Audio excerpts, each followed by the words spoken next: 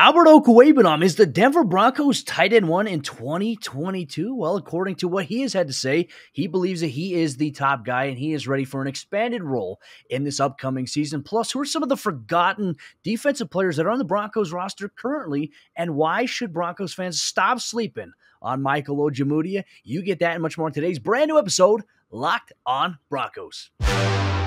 You are Locked on Broncos, your daily Denver Broncos podcast part of the Locked On Podcast Network. Your team every day.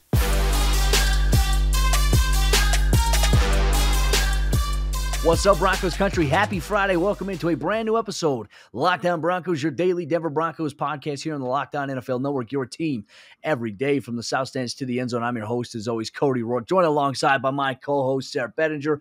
Both of us, we cover the Denver Broncos for the Locked On Network and Nine News. And Broncos country, thank you so much for making Locked On Broncos your first listen of the day every single day, free and available everywhere you get your podcast in audio format or watching us here on YouTube. Go ahead, hit that subscribe button, turn on notifications if you haven't done already so you never miss out on a day's worth of Denver Broncos news, content, and coverage all year long. Sayre, my friend, hey, it's great to see you. Happy Friday, my man. I hope you have a great Easter weekend alongside you and your family. But there is one Easter basket that is out there right now for the Denver Broncos offense, and apparently for tight end number one, Albert Okwuegbunam.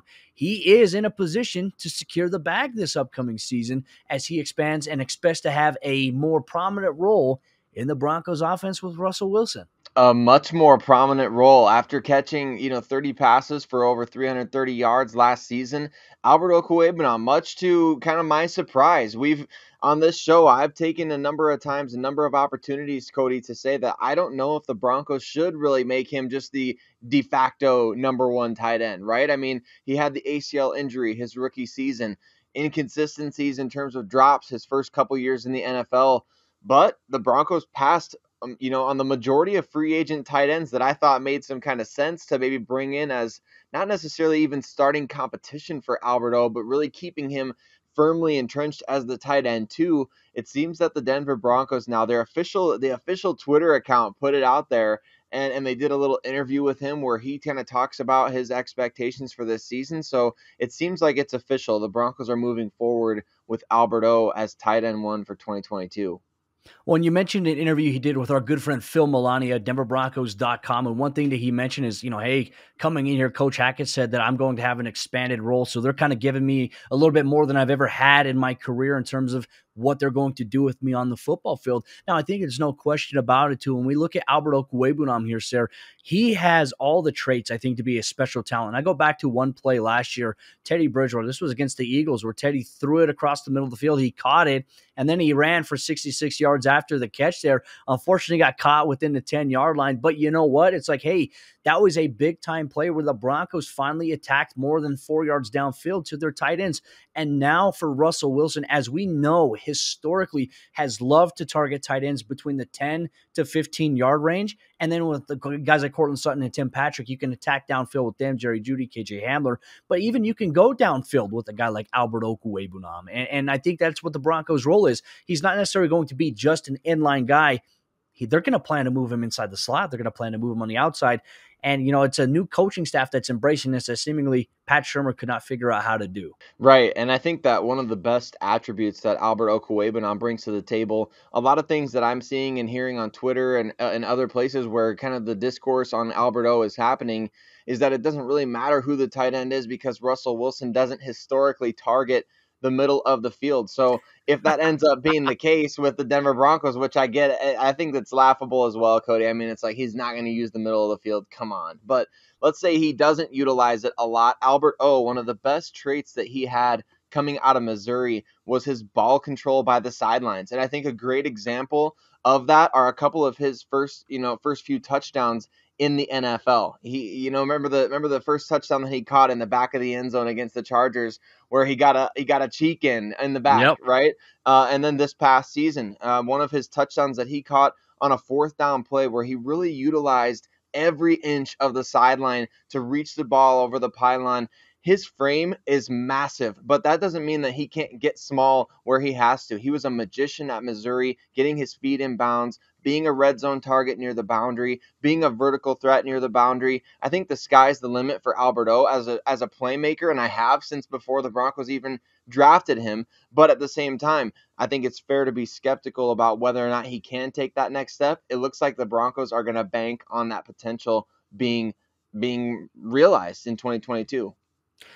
Well, there's some other uh, interesting tidbits that came out of that interview too, where he says Albert O says the biggest difference between Russ is the level of respect that comes from his wisdom and the fact that he's won a championship. So when he says something, it means a lot more than maybe some of the other guys that they've had to listen to. He knows what it takes, he knows what it looks like, and obviously for the tight end is a big time role. If we go back to the Green Bay Packers and saw how Robert Tonyan was used and with Aaron Rodgers in Green Bay, Albert O is excited about his ability to create mismatches, as we've talked about what Pat Shurmur couldn't do, and he knows that the coaches are going to exploit his ability to create mismatches, and the game is slowing down for him, which is good because ideally it takes a couple of years, if, especially for tight ends. Like that was something we preached when Noah Fant was on the roster. Like, hey, it's not just going to be perfect year one, not even year two, year three. You really hope that they can take that next step. The game slows down, they start to understand a little bit more.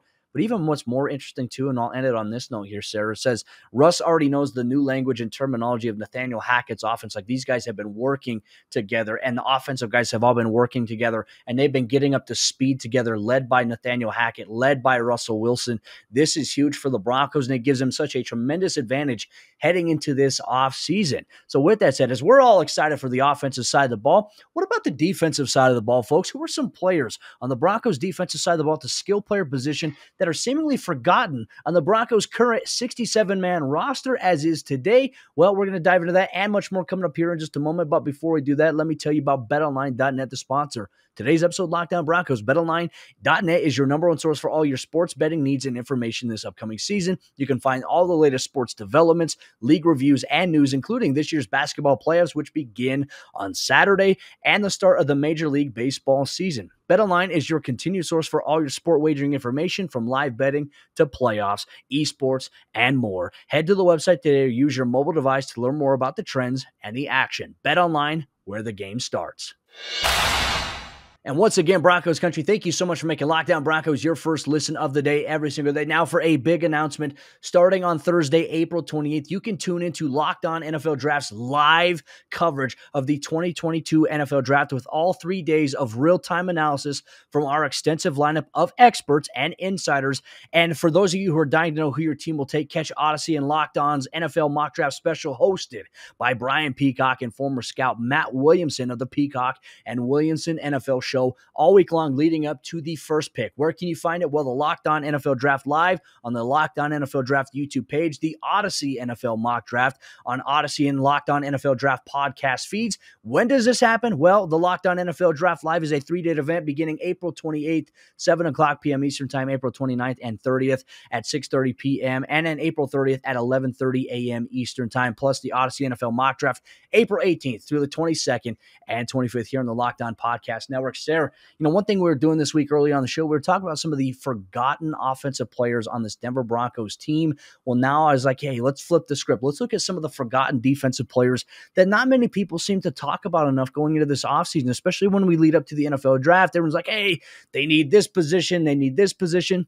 Let's start off with defensive back here. And look, I think Michael Ojemudia is probably one of those guys that does get forgotten about a little bit by fans and by media. Obviously, with the offseason addition of K'Waun Williams, he's more than likely going to play that nickel role. That was the expectation when they signed him.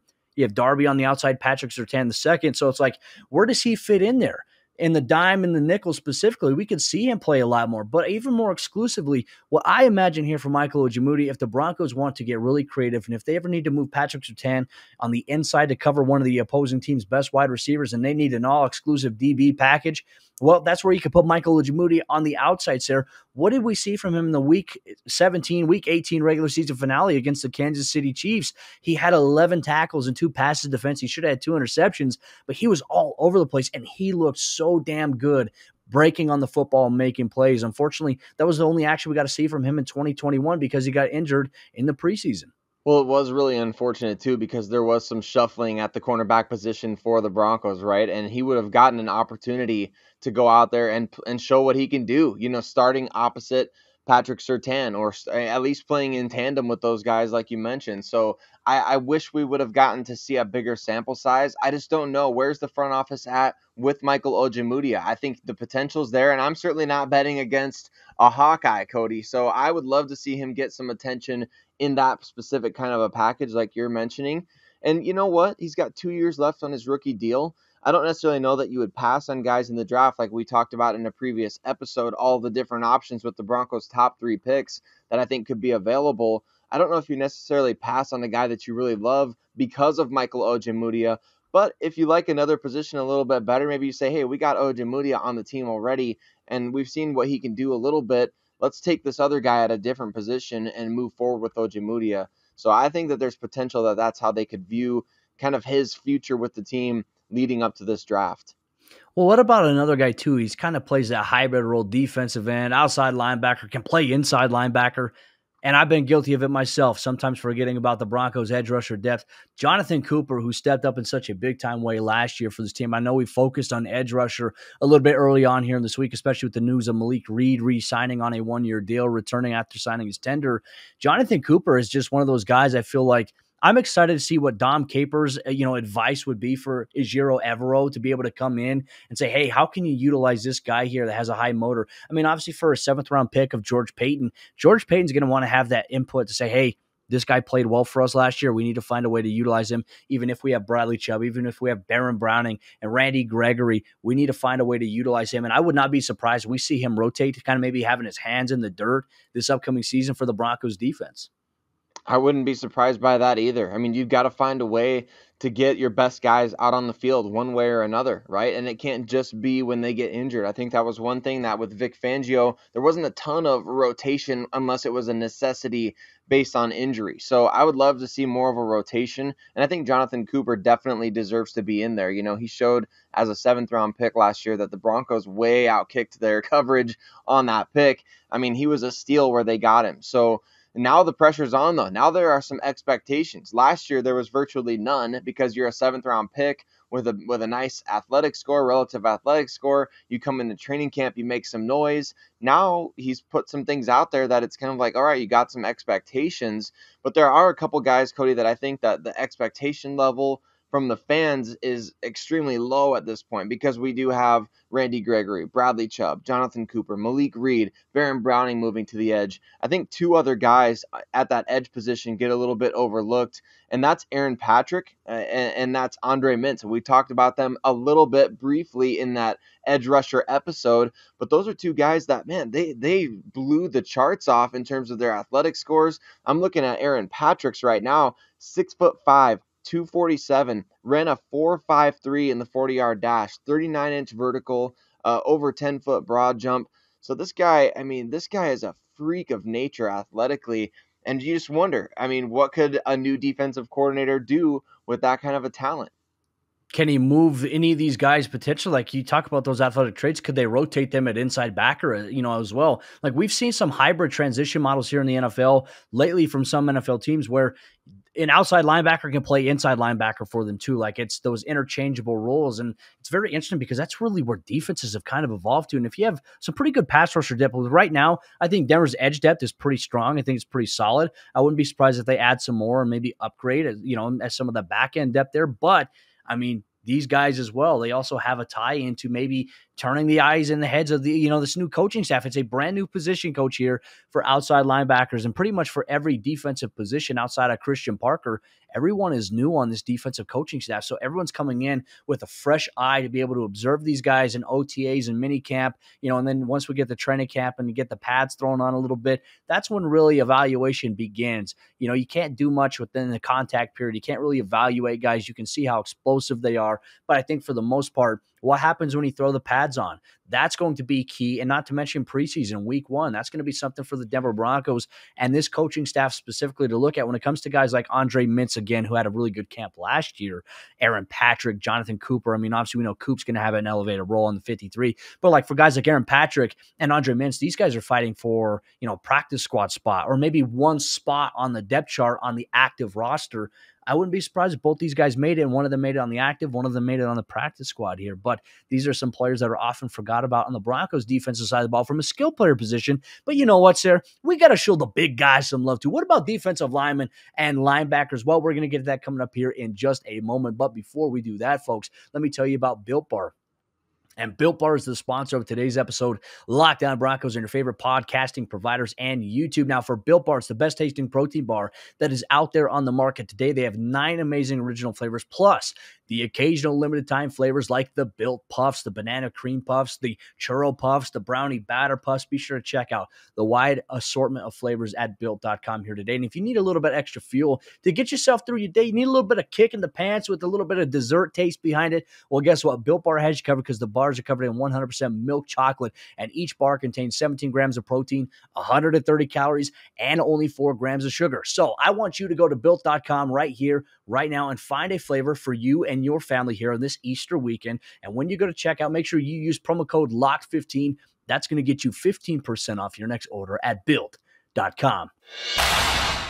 As we jump into the fourth quarter action on today's episode, Locked On Broncos. Once again, Broncos country. Hope you have an amazing weekend this weekend with your family, with your loved ones here on Easter weekend. Outside of that, thank you so much for making Locked On Broncos your first listen of the day, whether it's with your morning cup of coffee, while you're making breakfast, while you're driving to work, or while you're at the gym. We appreciate you taking time out of your day to listen or to watch us here talk all things Denver Broncos football. This is the place to be if you are a fan that wants objective coverage and looks at every angle this is the place for you to be. Locked on Broncos. All right, sir. Talking about some more forgotten players on the Broncos defensive side of the ball. Right now, as it stands, the Broncos roster is at 67 players out of 90, and it's going to fill out a little bit, imagining how the NFL draft goes. And then there will be invites, obviously, the undrafted rookie free agents that get brought in. So, depending on how this draft class goes for the Broncos, Denver could still make some more roster moves beforehand or even after the NFL draft based on what happens and how the board falls for them. But there's some players that are already on this roster that I think have not been talked about enough. Now,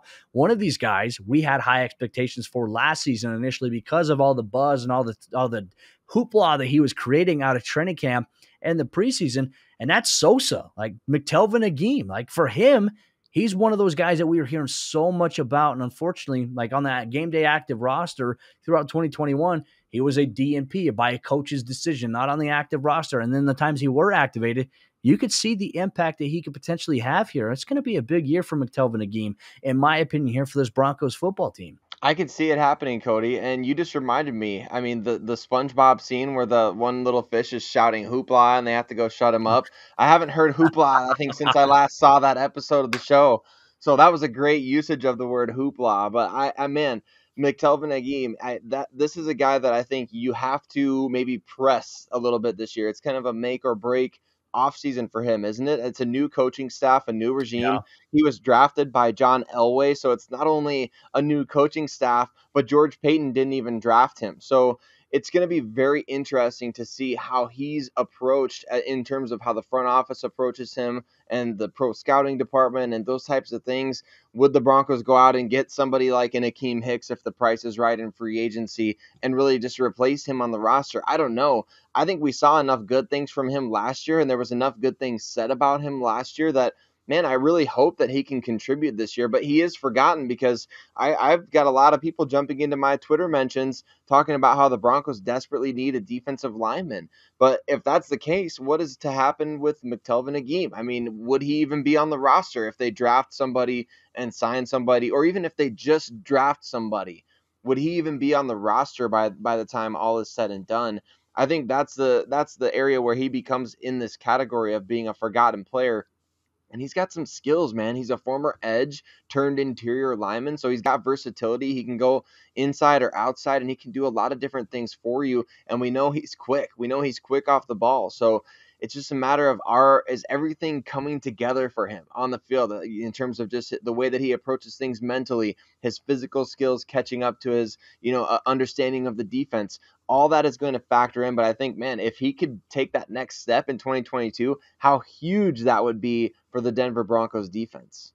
No, spot on there, especially with Dre'Mont Jones and even the addition of DJ Jones on the defensive line. The Broncos have options, not to mention George Paton drafted Marquiss Spencer in the seventh round of last year. Maybe one of those other players that doesn't get talked about enough. But then again, we don't know enough about Marquiss Spencer at this point to really have like, hey, you know, he's better than McTelvin Agim. I think those guys will probably compete at training camp for a roster spot here. But, you know, a couple other guys too. We talk about linebacker, and I know a lot of Broncos fans like, ah, oh, linebackers are a huge need for this football team. But they do have some other linebackers on the roster outside of just your Josey Jewells, your Baron Brownings, your Jonas Griffiths. They do have Justin Strnad, obviously, who is also drafted by John Elway, a guy out of Wake Forest. And, you know, for Strnad, I'm a bit, I've been a big fan, a big supporter of Justin Strnad. I think there's things in his game that make him, I think, a solid football player that could be a rotational guy here for this Broncos defense. Maybe not necessarily a starter yet. I don't think he's starter ready yet, but he can be a key special team starter immediately right now not to mention, he can also be one of those guys that when you would need to come in on run stopping situations, I think he can be there.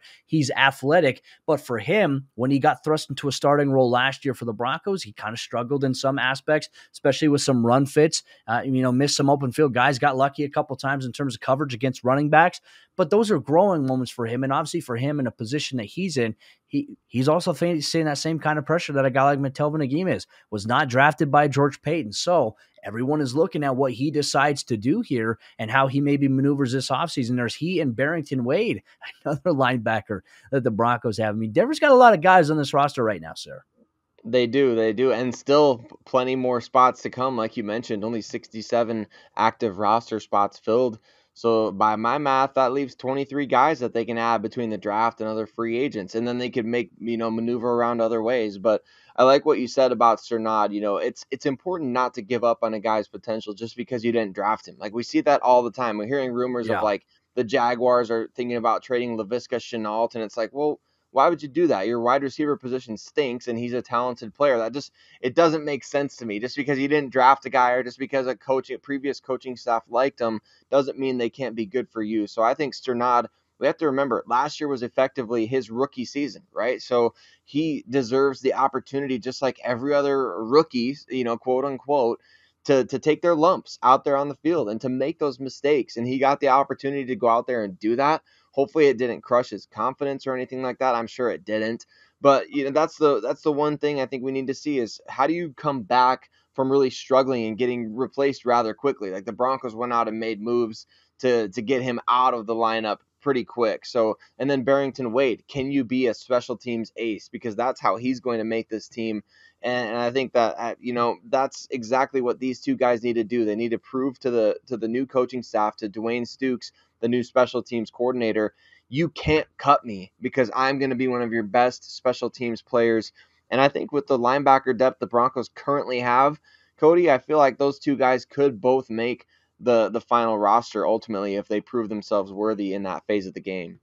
What do you think down below? Broncos country. Let Sayre Bedinger and myself know what you thought of this episode here today. Who are some forgotten players, maybe on the Broncos defense that we may or may not have mentioned? Outside of that, share us your thoughts as well on whether or not you believe Albert Okwuegbunam will be tight end one here for the Broncos in 2022. That will wrap up today's episode of the show. Broncos country, thank you so much for tuning in today, making us your first listen of the day every single day. Enjoy the rest of the weekend with your family. I know Sayre Bedinger and myself, we're going to do the same exact thing with our families. And and we will see you on Monday for a brand new episode, Locked on Broncos.